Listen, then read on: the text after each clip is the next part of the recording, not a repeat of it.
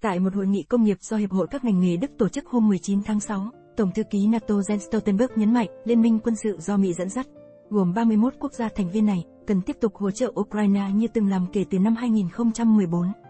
Ông nhấn mạnh, chúng ta cũng cần một ngành công nghiệp mạnh mẽ hơn, dự trữ vũ khí, đạn dược của chúng ta đang cạn kiệt và cần khôi phục lại, không chỉ ở Đức, mà còn ở nhiều quốc gia thành viên NATO.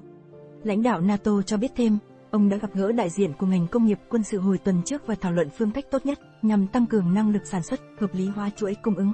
Theo ông, đây là chìa khóa để duy trì sự ủng hộ dành cho Ukraine. Ông Stoltenberg một lần nữa khẳng định quan điểm rằng, Ukraine chỉ có được một nền hòa bình công bằng và bền vững khi giành chiến thắng trên chiến trường. Mỹ và các đồng minh đã gửi cho Ukraine số vũ khí, đạn dược và trang thiết bị quân sự trị giá hơn 100 tỷ đô la Mỹ trong hơn một năm qua. Tuy nhiên, phương Tây Bắc bỏ cáo buộc của Nga cho rằng, họ đã trở thành một bên tham chiến khi tiếp tục cấp vũ khí và huấn luyện cho quân đội Ukraine.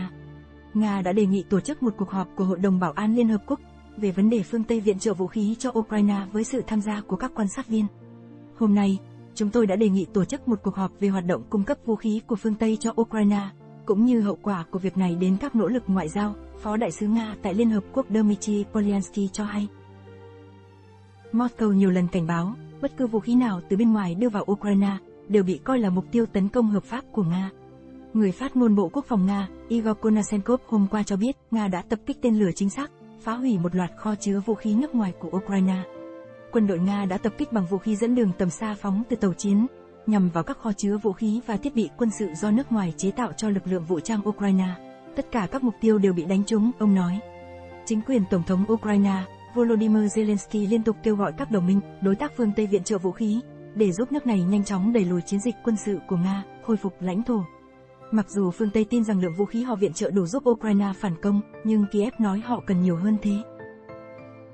Quân đội Đức chỉ còn khoảng 20.000 quả đạn pháo, bằng một phần 10 so với yêu cầu của NATO, sau nhiều tháng viện trợ vũ khí cho Ukraine, theo tài liệu mật mới tiết lộ. Tờ Der Spiegel của Đức hôm 19 tháng 6 dẫn nội dung tài liệu mật của Bộ Quốc phòng, trong đó cho thấy tình trạng thiếu thốn đạn dược nghiêm trọng của nước này. Các tài liệu được Bộ trưởng Quốc phòng Boris Pistorius soạn thảo nhằm thuyết phục Ủy ban ngân sách Quốc hội Đức phê chuẩn kế hoạch mua lượng lớn đạn cho pháo binh và xe tăng, bù đắp khoảng trống trong kho dự trữ sau những nỗ lực viện trợ cho Ukraine. Theo tài liệu, kho dự trữ của Đức hiện chỉ còn khoảng 20.000 viên đạn nổ mạnh cho pháo binh. Trong khi đó, theo quy định của NATO, đến năm 2031, Đức cần tích trữ tối thiểu 230.000 quả đạn phá, O để có thể đảm bảo đủ nguồn cung cho 30 ngày chiến đấu với cường độ cao. Giới chức Đức chưa bình luận về thông tin. Dữ liệu cập nhật hôm 15 tháng 6 trên website của Bộ Quốc phòng Đức cho thấy nước này đã viện trợ lượng lớn vũ khí cho Ukraine.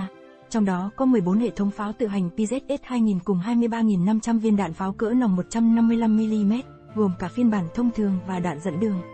Kho dự trữ quân sự của Đức cùng nhiều nước châu Âu, ngày càng cạn kiệt trong nỗ lực hỗ trợ Ukraine sau hơn 15 tháng chiến sự. Đại diện các tập đoàn quốc phòng và nghị sĩ Quốc hội Đức hồi tháng 10 năm 2022 cảnh báo quân đội nước này chỉ đủ lượng đạn cho hai ngày chiến đấu với cường độ cao. Cảm ơn các bạn đã xem bản tin.